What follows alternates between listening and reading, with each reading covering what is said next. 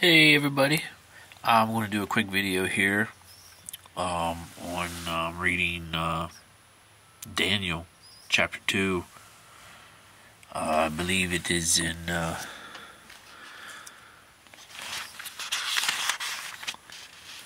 chapter 2 and um, it basically it starts here at 31 but uh, so Nebuchadnezzar well First of all, let me begin in the name of God Most High, most merciful, most compassionate.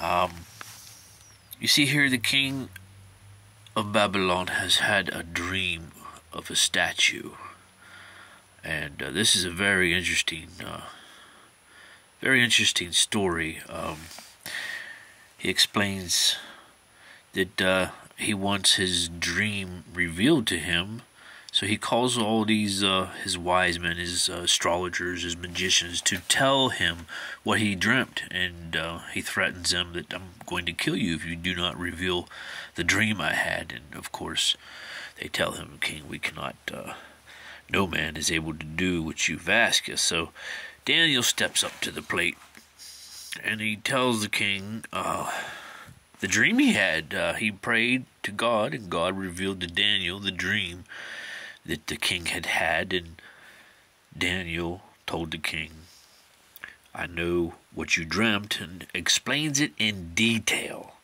And I'll just read briefly here. He said, uh, You looked, O king, and there before you stood a large statue, an enormous, dazzling statue, awesome in appearance.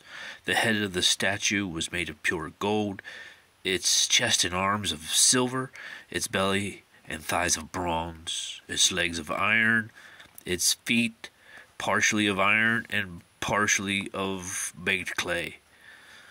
Uh, while you were watching, a rock was cut out, but not by human hands.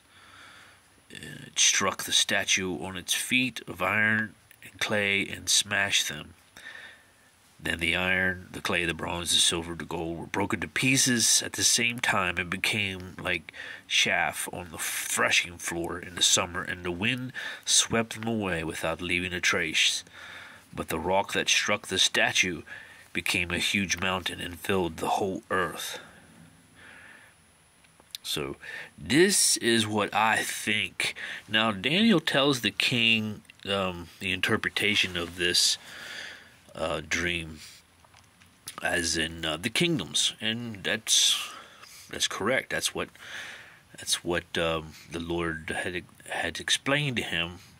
But like I say, these uh, these stories in here are um, like a multiplex. They're multifaceted. There are levels of information, and this statue that the, that the king was dreaming of was a man. So this, I think, is wisdom. The, the man represents the ages of man. That uh, Scripture tells us that God had created previous civilizations who were much wiser and mightier than this current age of humanity, or men, or whatever you want to call us, uh, human beings. This current age of uh, mankind. So you see here 32 the head was gold. So this is the first age of man. Uh, the head is uh, like the is well the story says that man was descended uh, was kicked out of heaven so he was kicked out of the garden so this was a place of uh, in heaven the head heaven um, and man was still very young, but he was uh, pure. He was um, perfect, as in, uh, if you study the alchemical properties of metals, um, gold is like the best. Like they strive for the uh, alchemical gold of uh, purification, of uh, perfection. So when man was first created, he was perfect. Uh, but then through time, um, he becomes he be, starts to become um, uh, compromised. I see here he's kind of degenerated. The next age of man is silver. Um, so you see, uh, these are still very pure metals. Um, anyone who's studied, st- studied uh, the colloidal um, liquids of gold and silver, uh, you see that these these metals are used for uh, purifying and healing the body. So this is still a state of purity. This is like uh, in the heart area.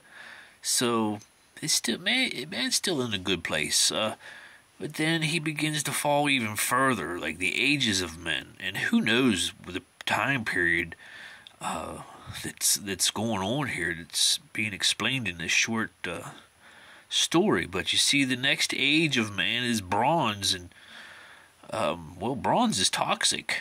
Uh, bronze um, is actually linked with uh, like degeneration in the body. So it's clearly showing us that like not only is it uh, like he's in the belly and the thighs, so these are like the lower like uh, the animal kingdom of uh, you know your uh, your lower regions here. Um, the bronze is degenerated, and he goes on even further. Legs, you two legs. Man's divided now. Legs, walking. He's like man's roaming the earth with heavy legs.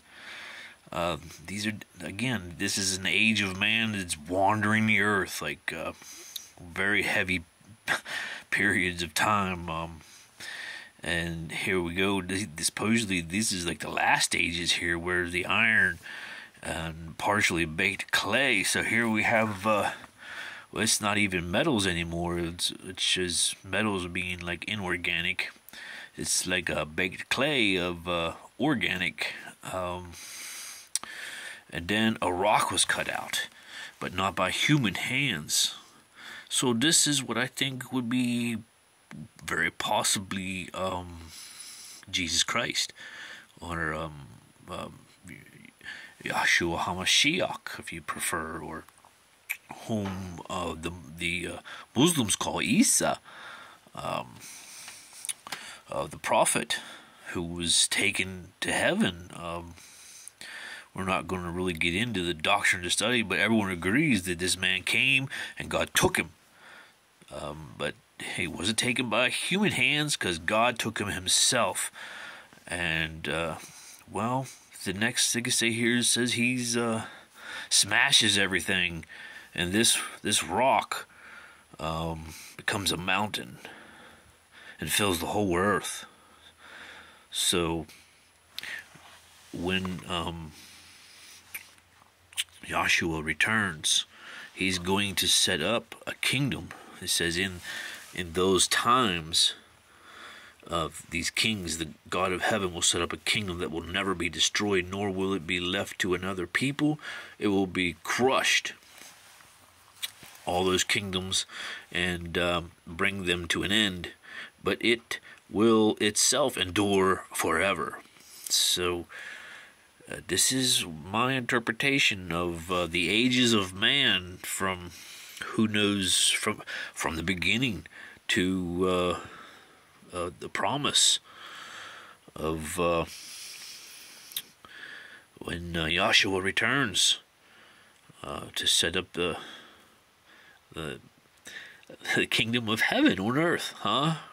What do you think? What are your thoughts on this? I'd like to hear anyone's uh, thoughts or interpretations on uh, Daniel chapter 2, uh, basically 31 through uh, 45. So, talk to y'all later. Bye bye.